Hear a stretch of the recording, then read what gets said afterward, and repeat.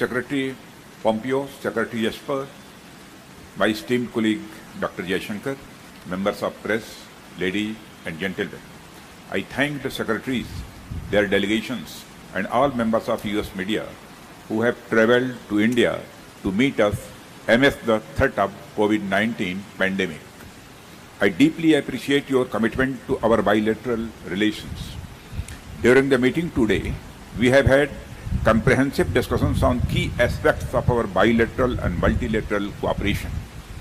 We considered the major challenges we face, the need for quick economic recovery and growth, prevention of the pandemic rebuild, the global supply chains and related issues received obvious priority in our discussions. I met Dr. Esper, Dr. Esper yesterday to discuss bilateral defense issues. We continued our discussions on larger regional and global perspective today over the 2 plus 2. Signing the BECA today, after signing the LEMOA in 2016 and COMCASA in 2018 is a significant achievement in that direction. I would also like to highlight some of the other noteworthy steps taken by both India and the US in follow-up to our earlier discussions.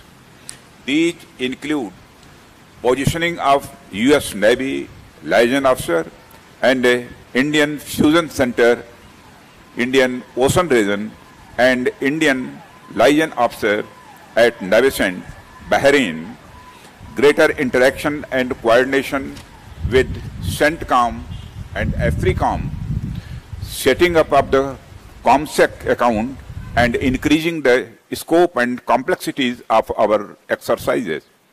Now liaison officers at each other's establishment could be leveraged to enhance our information sharing architecture. To sum it up, our military to military cooperation is progressing very well. In two days meeting, we also ex explored probable capacity building and other joint cooperation activities in third countries, including our neighborhood and beyond. We have convergence of views on a number of such proposals and will take those forward.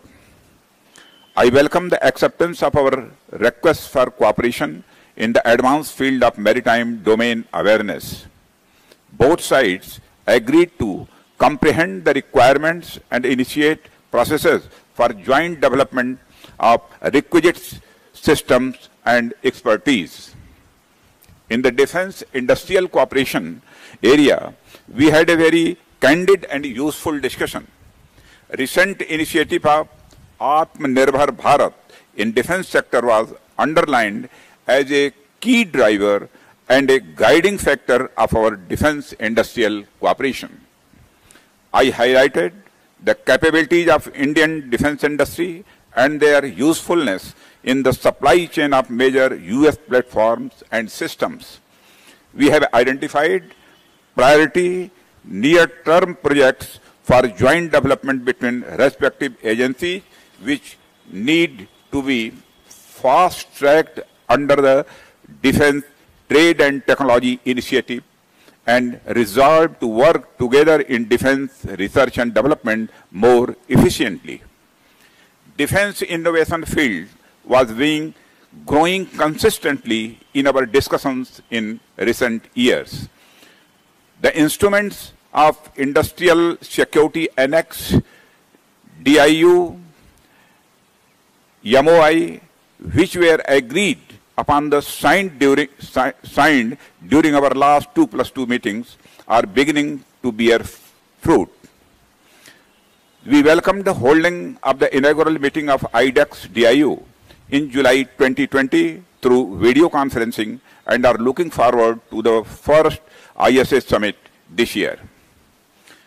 In our meeting, we shared assessment of the security situation across the Indo-Pacific. In the process, in that process, we reaffirm our commitment to peace, stability, and prosperity of all countries in the region. We also agreed that upholding the rules-based international order, respecting the rule of law and freedom of navigation in the international seas, and upholding the territorial integrity and the sovereignty of all states are essential. Our defense cooperation is intended to further these objectives. Both sides welcomed Australia joining the forthcoming Malabar exercise. We appreciate the visit of Secretary Pompeo and Secretary Esper to India.